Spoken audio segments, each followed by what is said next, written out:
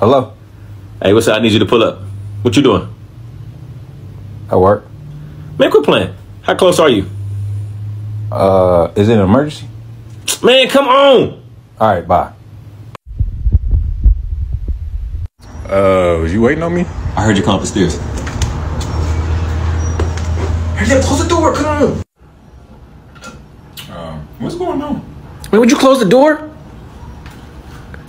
Why you slam it?